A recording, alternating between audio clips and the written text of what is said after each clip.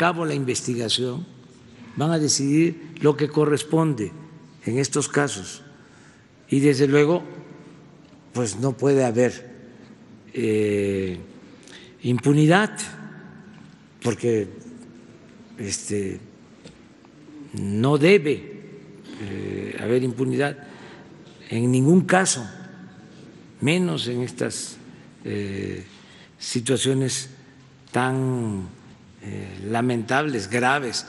Yo lo único que pido es que la autoridad encargada este, lleve a cabo la investigación y eh, se resuelva de conformidad con la ley eh, sobre las responsabilidades.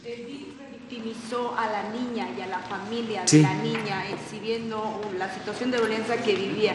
¿Esto qué nombre eh, merece? Hay que esperar a que dar a conocer cómo vivía la familia cuando el crimen que se investiga no es a la sí, hay que, hay que esperar el resultado de la, de la investigación y eh, tener confianza en que eh, se va a esclarecer lo sucedido, eh, que se va a castigar a los responsables